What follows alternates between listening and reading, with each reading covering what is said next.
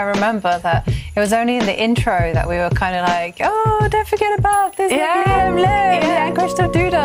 And then, ironically enough, you know, Magnus lost to Shakhriyar, Ragnander lost to Nish. Three percent, Uh, the odds Yeah. guy said Yeah. three percent Yeah. before the last round or something. So And uh, Liem Le, he needed to beat Jordan. I think, and he didn't quite manage. True. It was insane.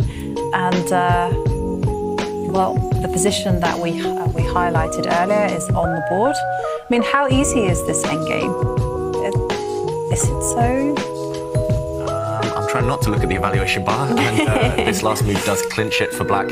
Um, the black pawn is just going to step forward and cost white his bishop. The problem is, if the white king steps back, the black rook will just come and give a check, uh, winning the white bishop. The white bishop is just gone; it's doomed, and so are Anish Giri's chances in the match. And now we see a result. We do. Wow. Young Praggnanandhaa, he wins another one. Three points for the 17 year old Indian prodigy. Zero points for Anish Giri.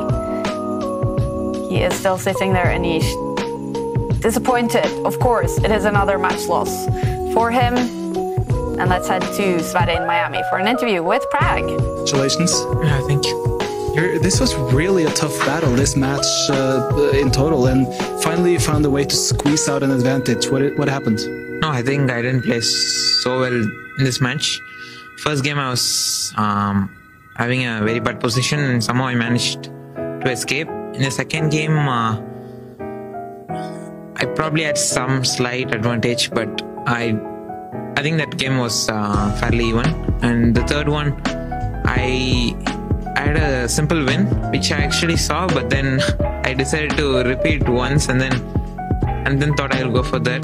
But okay, I just forgot that he just could go back to the king and then it's fine. Okay, this game, um, I just got lucky that he blended with rook e3, uh, rook d3. Uh, I got rook c2 there. But I mean,